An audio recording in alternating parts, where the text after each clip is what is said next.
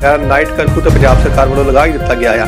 ਲੇਕਿਨ ਨਾਲ ਦੇ ਨਾਲ ਜਿਹੜਾ ਹੈਗਾ ਆ, ਕਰੋਨਾ ਦੇ ਵੱਧਦੀ ਗਿਣਤੀ ਨੂੰ ਦੇਖਦੇ ਹੋਏ ਹੁਣ ਪ੍ਰਸ਼ਾਸਨ ਕੀ ਕਰੇਗਾ, ਇਹ ਤੇ ਆਉਣ ਵਾਲਾ ਸਮਾਂ ਹੀ ਦੱਸੇਗਾ। ਸਤਿ ਸ਼੍ਰੀ ਅਕਾਲ ਜੀ, ਤੁਸੀਂ ਦੇਖ ਰਹੇ ਹੋ ਸਾਂਝਾ ਪੰਜਾਬ ਟੀਵੀ, ਮੈਂ ਹਾਂ ਗੁਰਮੀਤ ਰਾਜਾ ਅੰਮ੍ਰਿਤਸਰ ਤੋਂ ਅੱਜ ਤੁਹਾਡੇ ਸਾਹਮਣੇ ਅਸੀਂ ਲੈ ਕੇ ਆਏ ਹਾਂ 15 ਜਨਵਰੀ ਦੀ ਕਰੋਨਾ ਅਪਡੇਟ। 15 ਜਨਵਰੀ ਨੂੰ ਅੰਮ੍ਰਿਤਸਰ ਦੇ ਵਿੱਚ ਕਿੰਨੇ ਕੇਸ ਆਏ ਨੇ, ਕਿੰਨੀਆਂ ਡੈਥ ਹੋਈਆਂ ਨੇ ਔਰ ਕਿੰਨੇ ਲੋਕ ਜਿਹੜੇ ਹੈਗੇ ਨੇ ਪੋਜ਼ਿਟਿਵ ਆਏ ਨੇ ਔਰ ਕਿੰਨੇ ਕੰਟੈਕਟ ਦੇ ਵਿੱਚ ਆਏ ਨੇ, ਉਹਦੀ ਆਪਾਂ ਖੁੱਲ ਕਿਹੜੀ ਗਈ ਹੈ? ਪੂਰੀ ਗੱਲਬਾਤ ਕਰਾਂਗੇ। ਉਹ ਤੁਹਾਨੂੰ ਦੱਸਾਂਗੇ ਜੀ, ਅੱਜ ਦੀ ਜਿਹੜੀ ਸਥਿਤੀ ਅੰਮ੍ਰਿਤਸਰ ਦੇ ਵਿੱਚ ਕੀ ਉਹ ਹੈਗੀ ਕੀ ਹੈ। ਸਭ ਤੋਂ ਪਹਿਲਾਂ ਆਪਾਂ ਗੱਲ ਕਰਾਂਗੇ ਅੰਮ੍ਰਿਤਸਰ ਦੇ ਵਿੱਚ ਅੱਜ ਸਿਵਲ ਸਰਜਨ ਵੱਲੋਂ ਲਗਾ ਅੰਮ੍ਰਿਤਸਰ ਪ੍ਰਸ਼ਾਸਨ ਵੱਲੋਂ 375 ਕੇਸਾਂ ਦੀ ਪੁਸ਼ਟੀ ਕਰ ਦਿੱਤੀ ਗਈ ਹੈਗੀ ਆ। ਅੱਜ ਜਿਹੜੇ ਹੈਗੇ ਨੇ 375 ਕੇਸ ਅੰਮ੍ਰਿਤਸਰ ਸਿਟੀ ਦੇ ਵਿੱਚ ਜਿਹੜੇ ਹੈਗੇ ਨੇ, ਉਹ ਕਰੋਨਾ ਦੇ ਆਏ ਨੇ। ਔਰ ਜਿਨ੍ਹਾਂ ਵਿੱਚੋਂ ਤਕਰੀਬਨ 346 ਕੇਸ ਨੇ ਜਿਹੜੇ ਕਿ ਨਵੇਂ ਆਏ ਨੇ। ਔਰ 29 ਕੇਸ ਹੈਗੇ ਨੇ ਜਿਹੜੇ ਕਿ ਇਹਨਾਂ ਦੇ ਪੋਜ਼ਿਟਿਵ ਕੇਸਾਂ ਦੇ ਜਿਹੜੇ ਟੱਚ ਦੇ ਵਿੱਚ ਆਏ ਸੀ ਜਾਂ ਕੰਟੈਕਟ ਦੇ ਵਿੱਚ ਆਏ ਸੀ। ਮਤਲਬ ਕੁੱਲ ਮਿਲਾ ਕੇ ਜਿਹੜੇ ਹੈਗੇ ਨੇ 375 ਕੇਸਾਂ ਦੀ ਜਿਹੜੀ ਪੁਸ਼ਟੀ ਅੰਮ੍ਰਿਤਸਰ ਦੇ ਸਿਵਲ ਸਰਜਨ ਸਿਵਲ ਡਿਪਾਰਟਮੈਂਟ ਵੱਲੋਂ ਹੈਲਥ ਡਿਪਾਰਟਮੈਂਟ ਵੱਲੋਂ ਕਰ ਦਿੱਤੀ ਗਈ ਹੈ। ਹੁਣ ਆਪਾਂ ਗੱਲ ਕਰਾਂਗੇ ਟੋਟਲ ਕੇਸਾਂ ਦੀ ਜਿਹੜੀ ਗਿਣਤੀ ਹੈਗੀ ਹੈ, ਤਕਰੀਬਨ ਇਸ ਦੇ ਨਾਲ ਜਿਹੜੀ ਹੈਗੀ ਹੈ ਟੋਟਲ ਕੇਸਾਂ ਦੀ ਗਿਣਤੀ 51443 ਜਿਹੜੀ ਹੈਗੀ ਆ ਅੰਮ੍ਰਿਤਸਰ ਦੇ ਵਿੱਚ ਜਿਹੜੀ ਹੈਗੀ ਉਹ ਟੋਟਲ ਕੇਸਾਂ ਦੀ ਜਿਹੜੀ ਗਿਣਤੀ ਉਹ ਹੋ ਚੁੱਕੀ ਹੈਗੀ ਆ ਉਹ ਰਿਕਵਰ ਕੇਸ ਜਿਹੜੇ ਹੈਗੇ ਨੇ, ਉਹ 46818 ਕੇਸ ਉਹ ਨੇ ਜਿਹੜੇ ਕਿ ਠੀਕ ਹੋ ਕੇ ਕਰੋਨਾ ਮਹਾਮਾਰੀ ਤੋਂ ਨਿਜਾਤ ਪਾ ਕੇ ਉਸ ਨੂੰ ਹਰਾ ਕੇ ਆਪਣੇ ਘਰਾਂ ਨੂੰ ਪਰਤ ਚੁੱਕੇ ਨੇ। ਜੇ ਨਾਲ ਹੀ ਆਪਾਂ ਗੱਲ ਕਰੀਏ ਤੇ ਅੱਜ ਤਕਰੀਬਨ 3020 ਕੇਸ ਜਿਹੜੇ ਹੈਗੇ ਨੇ, ਉਹ ਐਕਟਿਵ ਅੰਮ੍ਰਿਤਸਰ ਦੇ ਵਿੱਚ ਹੋ ਚੁੱਕੇ ਨੇ। ਜੀ ਹਾਂ, ਬਿਲਕੁਲ ਸਹੀ ਗੱਲ ਕਰਦਾ ਪਿਆ ਮੈਂ। 3020 ਕੇਸ ਜਿਹੜੇ ਹੈਗੇ ਨੇ ਅੰਮ੍ਰਿਤਸਰ ਦੇ ਵਿੱਚ ਅੱਜ ਕਰੋਨਾ ਦੇ ਜਿਹੜੇ ਨਵਾਂ ਜਿਹੜੀ ਹੈਗੀ ਹੈ ਇਹ ਰੂਪ ਇੱਕ ਆਇਆ ਆ, ਉਹਦੇ ਐਕਟਿਵ ਹੈਗੇ ਨੇ, ਚਾਹੇ ਉਹ ਸਿਵਲ ਸਰਜਨ ਸਿਵਲ ਹਸਪਤਾਲ ਦੀ ਗੱਲ ਕਰੀਏ ਜਾਂ ਗੁਰੂ ਨਾਨਕ ਦੇਵ ਹਸਪਤਾਲ ਦੀ ਗੱਲ ਕਰੀਏ ਜਾਂ ਫਿਰ ਪ੍ਰਾਈਵੇਟ ਹਸਪਤਾਲਾਂ ਦੇ ਵਿੱਚ ਜਿਹੜੇ 3020 ਲੋਕ ਜਿਹੜੇ ਹੈਗੇ ਨੇ, ਬੈੱਡਾਂ ਉੱਤੇ ਤਕਰੀਬਨ ਕਰੋਨਾ ਮਹਾਮਾਰੀ ਨਾਲ ਗ੍ਰਸਤ ਹੈਗੇ ਨੇ, ਉਹ ਇਸ ਵੇਲੇ ਐਕਟਿਵ ਹੈਗੇ ਨੇ। ਬੜੀ ਡਰ ਦੇ ਮਾਹੌਲ ਵਾਲੀ ਗੱਲ ਵੀ ਹੈਗੀ ਆ, ਕਿਉਂਕਿ ਤਕਰੀਬਨ 2 ਸਾਲ ਪਹਿਲਾਂ ਵੀ ਇਸ ਮਹਾਮਾਰੀ ਨੇ ਸ਼ਹਿਰ ਦੇ ਵਿੱਚ, ਦੇਸ਼ ਦੇ ਵਿੱਚ ਜਿਹੜਾ ਤਹਿਲਕਾ ਮਚਾਇਆ ਸੀ ਪੂਰੀ ਦੁਨੀਆ ਦੇ ਵਿੱਚ, ਲੇਕਿਨ ਇੱਕ ਵਾਰ ਫਿਰ ਤੋਂ ਨਵੇਂ ਨਾਮ ਦੇ ਨਾਲ ਦੇਸ਼ ਦੁਨੀਆ ਦੇ ਵਿੱਚ ਆਈਏ ਹਿੰਦੁਸਤਾਨ ਦੇ ਵਿੱਚ ਆਈਏ ਅੰਮ੍ਰਿਤਸਰ ਦੇ ਵਿੱਚ, ਪੰਜਾਬ ਦੇ ਵਿੱਚ ਜਿਹੜਾ ਆ ਕੇ ਪੂਰੀ ਤਰ੍ਹਾਂ ਉਹ ਸਾਰੇ ਜ਼ਿਲ੍ਹਿਆਂ ਦੇ ਵਿੱਚ, ਸਾਰੀ ਸਟੇਟਾਂ ਦੇ ਵਿੱਚ ਉਹ ਤਹਿਲਕਾ ਮਚਾਉਂਦੀ ਪਈ ਆ। ਔਰ ਅੱਜ ਜਿਹੜਾ ਡਰ ਦਾ ਮਾਹੌਲ ਜਿਹੜਾ ਫਿਰ ਤੋਂ ਬੰਦਾ ਪਿਆ ਹੈਗਾ, ਨਾਈਟ ਕਰਫਿਊ ਤੇ ਪੰਜਾਬ ਸਰਕਾਰ ਵੱਲੋਂ ਲਗਾ ਹੀ ਦਿੱਤਾ ਗਿਆ ਆ।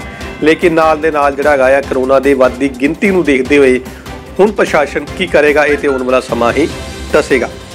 ਇਸ ਤੋਂ ਬਾਅਦ ਆਪਾਂ ਗੱਲ ਕਰਾਂਗੇ ਡੈਥ ਜਿਹੜੇ ਰੋਲ, ਜਿਹੜੇ ਲੋਕ ਇਸ ਬਿਮਾਰੀ ਤੋਂ ਗ੍ਰਸਤਿਤ ਹੋਣ ਤੋਂ ਬਾਅਦ ਆਪਣੀ ਜਾਨ ਜਿਹੜੀ ਗਵਾ ਚੁੱਕੇ ਨੇ, ਉਹ ਜਿਹੜੀ ਤਕਰੀਬਨ 1605 ਲੋਕਾਂ ਦੀ ਜਿਹੜੀ ਗਿਣਤੀ ਜਿਹੜੀ ਹੈਗੀ ਆ, ਹੁਣ ਤੱਕ ਕੰਪਲੀਟ ਅੰਮ੍ਰਿਤਸਰ ਦੇ ਵਿੱਚ ਜਿਹੜੀ ਹੈਗੀ 1605 ਜਿਹੜਾ ਲੋਕਾਂ ਦੀ ਗਿਣਤੀ ਕਰੋਨਾ ਮਹਾਮਾਰੀ ਦੇ ਨਾਲ ਅੰਮ੍ਰਿਤਸਰ ਦੇ ਵਿੱਚ ਉਹ ਆંકੜਾ ਉਹ ਹੋ ਚੁੱਕਾ ਹੈਗਾ ਆ।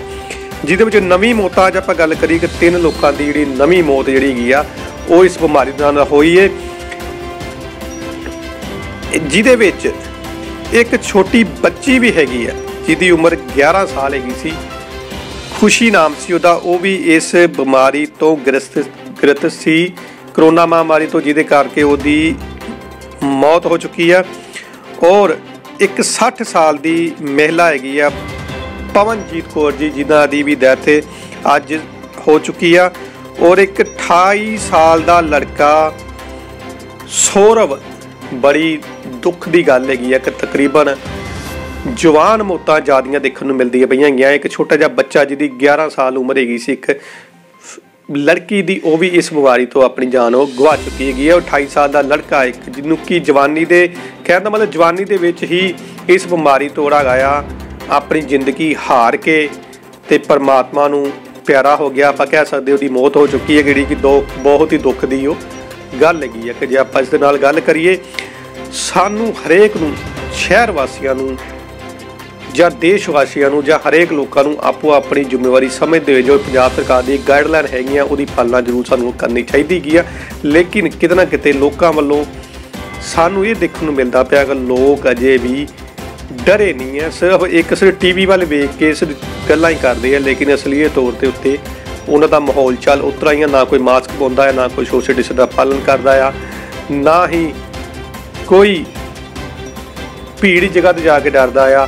ਇਕੱਠ ਕਰਦੇ ਪਏ ਨੇ ਮਾਸਕ ਤੋਂ ਬਗੈਰ ਚੱਲਦੇ ਪਏ ਨੇ, ਜਿਹੜੀ ਕਿ ਆਉਣ ਵਾਲੇ ਸਮੇਂ ਤੇ ਖਤਰੇ ਦੀ ਘੰਟੀ ਉਹ ਵੱਧਦੀ ਤੇ ਪਈ ਆ ਲੇਕਿਨ ਹੋਰ ਵੀ ਡਰ ਦਾ ਮਾਹੌਲ ਜਿਹੜਾ ਉਹ ਪੈਦਾ ਹੋ ਜਾਏਗਾ, ਕਿਉਂਕਿ ਜਿਵੇਂ ਜਿਵੇਂ ਕਰੋਸ- ਕਰੋਨਾ ਦੀ ਗਿਣਤੀ ਜਿਹੜੀ ਵੱਧਦੀ ਪਈ ਆ, ਕਿ ਸਰਕਾਰਾਂ ਵੱਲੋਂ ਕਿਤੇ 2020 ਵਾਲਾ ਲੋਕਡਾਊਨ ਨਾ ਲਗਾ ਦਿੱਤਾ ਜਾਵੇ, ਜੋ ਕਿ ਬਹੁਤ ਖਤਰਨਾਕ ਔਰ ਬੜਾ ਹੀ ਮਾੜਾ ਸਮਾਂ ਸੀ ਉਹ ਨਾ ਸਮਾਂ ਨਾ ਆਵੇ, ਇਸ ਲਈ ਸਾਨੂੰ ਸਾਰਿਆਂ ਨੂੰ ਪਹਿਲਾਂ ਹੀ ਅਵੇਅਰ ਹੋਣਾ ਚਾਹੀਦਾ ਆ, ਜਾਣਕਾਰੀ ਜਿਹੜੀ ਹੈਗੀ ਜੋ ਸਰਕਾਰ ਦੀ ਗਾਈਡਲਾਈਨ ਉਹਦੀ ਪਾਲਣਾ ਕਰਨੀ ਚਾਹੀਦੀ ਹੈ ਤਾਂ ਕਿ ਅਸੀਂ ਜਿਹੜੀ ਆਪਣੀ ਜ਼ਿੰਦਗੀ ਜਿਹੜੀ ਹੈਗੀ ਆ ਰੂਟੀਨ ਦੀ ਪਟਰੀ ਤੇ ਉਹ ਚੱਲਦੀ ਜਾਵੇ, ਕਿਉਂਕਿ ਸਰਕਾਰਾਂ ਵੱਲੋਂ ਪਹਿਲੋਂ ਹੀ ਨਾਈਟ ਕਰਫਿਊ ਦਾ ਲਗਾ ਦਿੱਤਾ ਗਿਆ ਆ। ਔਰ ਨਾਲ ਦੇ ਨਾਲ ਕਾਫੀ ਨਵੀਆਂ ਗਾਈਡਲਾਈਨਾਂ ਵੀ ਉਹ ਜਾਰੀ ਕੀਤੀਆਂ ਗਈਆਂ, ਜਿਹਦੇ ਨਾਲ ਜਿਹੜੀ ਜ਼ਿੰਦਗੀ ਦੀ ਰਫ਼ਤਾਰ ਹੈਗੀ ਆ, ਫਿਰ ਥੋੜੀ ਸੀ ਉਹ ਥੰਮਣੀ ਉਹ ਸ਼ੁਰੂ ਹੋ ਗਈ ਆ। ਇਸ ਨਾਲ ਹੀ ਤੁਹਾਨੂੰ ਆਪਾਂ ਕੱਲ ਤੋਂ ਫਿਰ ਇਸੇ ਤਰ੍ਹਾਂ ਹੀ ਰੋਜ਼-ਰੋਜ਼ ਜਿਹੜੀ ਹੈਗੀ ਆ ਅਪਡੇਟ ਆਪਾਂ ਕਰੋਨਾ ਦੀ ਅੰਮ੍ਰਿਤਸਰ ਸਿਟੀ ਦੀ ਆਪਾਂ ਤੁਹਾਡੇ ਸਾਹਮਣੇ ਉਹ ਪੇਸ਼ ਕਰਾਂਗੇ।